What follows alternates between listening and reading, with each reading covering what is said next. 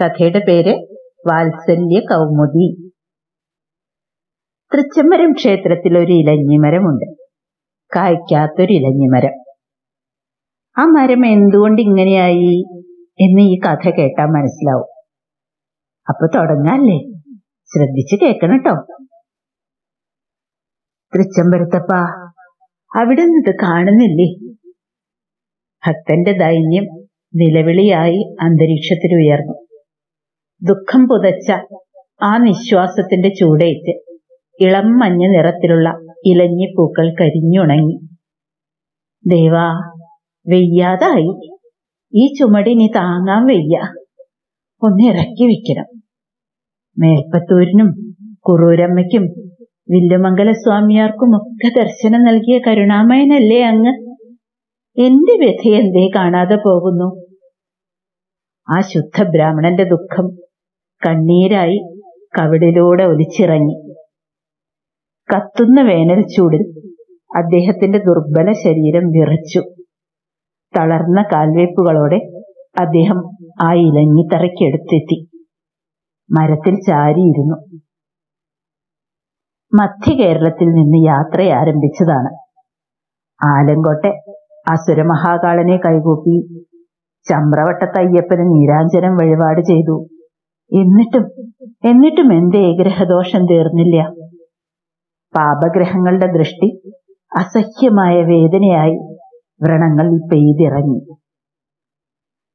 എല്ലാ മാസവും തിങ്കൾ ഭജനത്തിന് ഗുരുവായൂരിലെത്തും. അത് മുടക്കാറില്ല. അങ്ങനെയാണ് ഇത്തവണയും എത്തിയത്. മുട്ടുകുത്തിയിരുന്ന് വെണ്ണയുണ്ണുന്ന ഉണ്ണിക്കണ്ണന്റെ ദിവ്യരൂപം കളഭാലങ്കാരത്താൽ ഏറെ പ്രശോഭിതമായിരുന്നു. കൃഷ്ണ കരുണാവാരിധി മനമൊരുകി വിളിച്ചു. തൃച്ചേവടിയിലെ നോപുരങ്ങൾ കിരുങ്ങുന്നുണ്ടോ അരയിലെ പൊന്നൻകിങ്ങളി തിളങ്ങുന്നുണ്ടോ? തെച്ചിയും തുളസിയും ഇടകലർന്ന തിരുമുടിമാലയ്ക്ക് താഴെ ശ്വേതകണങ്ങൾ ഇറ്റു നിൽക്കുന്ന വതനാംബുജത്തിൽ തനിക്കായി മാത്രം കരുതിയ ഒരു ഗൂഢസ്മിതമുണ്ടോ? കണ്ണ പുണ്ണിൽ ആഴ്ന്നിറങ്ങുന്ന വേദന ഈ നറുപുഞ്ചിരി കാണുമ്പോൾ അടിയൻ മറക്കുന്നു. ഭഗവാനെ ഇപ്പോഴും ആ കള്ളച്ചിരി. കളകളം പൊഴിക്കുന്ന ആ ചിരിയുടെ അലകൾ മനസ്സിൽ അനുരണനം തീർത്തപ്പോഴാണ് പ്രദക്ഷിണം ആരംഭിച്ചത്. തിരുമേനിക്ക് എന്നെ മാത്രം ദർശിച്ചാ മതിയോ? ഞാനും ബലരാമൻ ജ്യേഷ്ഠനും കൂടി ആടിയ ബാലലീലകൾ കാണണ്ടേ അവിടത്തേക്ക്? ശബ്ദം കേട്ടപ്പോ ഞെട്ടി പുറകോട്ട് നോക്കി. ആരാണ്? ആരുടെ ശബ്ദമാണ് ഞാൻ ഈ കേട്ടത്? ഞാൻ അവിടുത്തെ മുന്നിൽ തന്നെയുണ്ട് തിരുമേനി. ഇടത്തിരുത്തിക്കാവിലേക്കുള്ള തിരുവിൽ ഒരു പീലിത്തെല്ലിന്റെ ഭംഗി.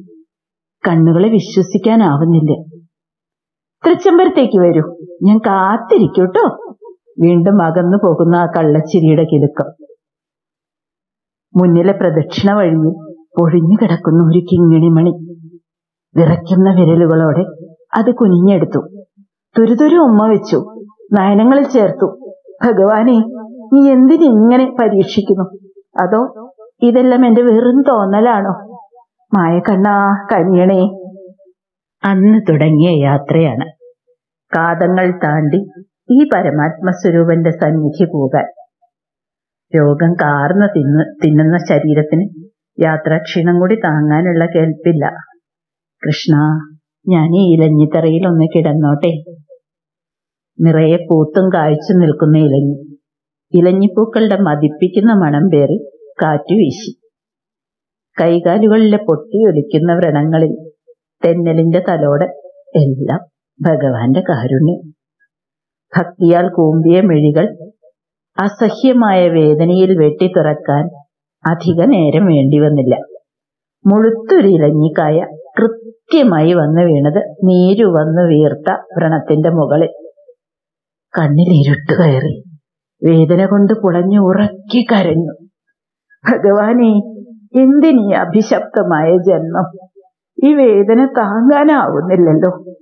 പ്രതീക്ഷയുടെ ഒരു നുറുങ്ങുവെട്ടം പോലും അണഞ്ഞു കഴിഞ്ഞോ കണ്ണ? ഇതിനാണോ അങ്ങ് മധുരമായൊരു പുല്ലാങ്കുഴൽ നാദം. കണ്ണ അവിടുന്ന് എന്നെ വീണ്ടും മായയിൽ ആഴ്ത്തുന്നു അല്ല ഇത് നിന്ന് തന്നെ വളരെ തൊട്ടടുത്ത്. അതാ ആനന്ദസ്വരൂപൻ. ഇലഞ്ഞിയിൽ ചാരി നിന്ന് തൃക്കാൽ രണ്ടും പിണച്ച് മധുരോദാരമായി പാടുന്നു. അപ്പോഴും മധുരങ്ങളിൽ തത്തിക്കളിക്കുന്നു ആ കുസൃതിച്ചിരി. തിരുമേനി വന്നു അല്ലേ? എനിക്കറിയായിരുന്നു വരാതിരിക്കാനാവില്ല എന്ന് ഇത് സത്യമോ? അതോ മിഥ്യയോ? പ്രേമസ്വരൂപ അങ്ങ് നിസ്സാരനായ എന്റെ മുന്നിൽ ചലിക്കാനാവാതെ ഒരു ചെറുവിരൽ പോലും അനക്കാനാവാതെ അതേ കിടപ്പ് കിടന്നു. ഇലഞ്ഞിപ്പൂമണം പരത്തിക്കൊണ്ട് ഇളങ്കാറ്റ് വീണ്ടും. കാറ്റിന്റെ വേഗത്തിൽ ഞെട്ടറ്റു വീഴുന്ന ഇലഞ്ഞിക്കായെ നിസ്സഹായതയോടെ അതിലേറെ വേദനയോടെ നോക്കി മലർന്നു കിടക്കുമ്പോൾ അതാ അത്ഭുതം എന്ന് പറയട്ടെ. ഞെട്ടറ്റ് താഴേക്ക് പതിക്കുന്ന ആ കായ് വായുവിൽ തന്നെ നിലകൊള്ളുന്നു. ഇതെന്തൊരു മായാവിലാസം. തിരുമേനി ഖേദിക്കണ്ട. ഭക്തോത്തമനായ അവിടുത്തെ വേദനിപ്പിച്ചതിന്റെ ശിക്ഷ ഇവൾ അനുഭവിക്കുക തന്നെ ചെയ്യും. ഇനി മുതൽ ഇവൾ കായ്ക്കില്ല. അങ്ങയ്ക്ക് രോഗമുക്തി പ്രാപ്തമാവുകയും ചെയ്യും. പനിനീർപ്പൂ പോലെ മൃദുലമായ ആ തൃക്കൈ വ്രണങ്ങളിൽ ശീതള സ്പർശമായി നിറയുന്നു.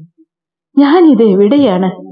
ക്ഷീരസാഗരത്തിരകൾ ശരീരത്ത് തലോടുന്നത് പോലെ. ആ അനുഭൂതിയിൽ അഹംബോധമില്ലാതാകുന്നു.